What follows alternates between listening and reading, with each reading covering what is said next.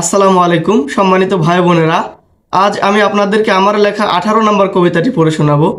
কবিতাটি লিখেছিলাম তিরিশে জানুয়ারি দু হাজার বিশ সালে।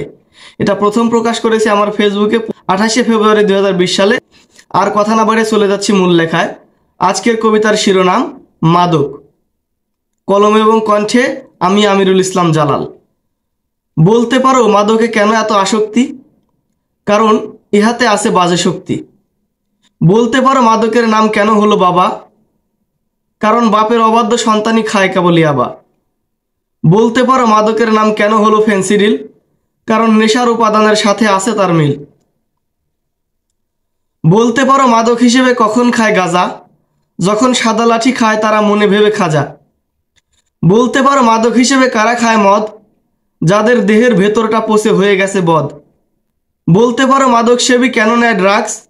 কারণ সে ভালো মানুষের সাথে নিজেকে মেলাতে পারে না। জোরে দিয়ে হাক্স। বলতে পারো মাদক সেবী কেন হয়ে যায় গোমরা? কারণ সে বুঝে যায় এভাবেই নিভে যাবে তার প্রাণ ভোমরা। বলতে পারো মাদক সেবী কেন হয় না সফল? কারণ তার ধ্যান জ্ঞান সবই থাকে বিফল। বলতে পারো মাদক সেবী কেন আসে না ফিরে? কারণ নষ্ট পরিবেশ থাকে তার চারপাশ ঘিরে। বলতে পারো মাদক কেন এত দামি? কারণ মাদক যে খায় সেই হয়ে যায় বদনামি। বলতে পারো মাদককে কেন বলে সামাজিক বেধি? কারণ ইহা মান মর্যাদা নষ্ট করে নিঃস্ব করে দেয় জাতি।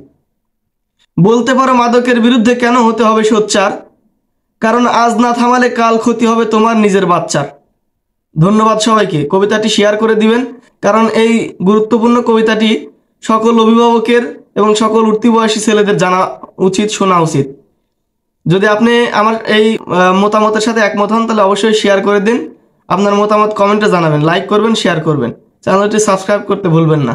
আসসালামু আলাইকুম রহমতুল্লাহ।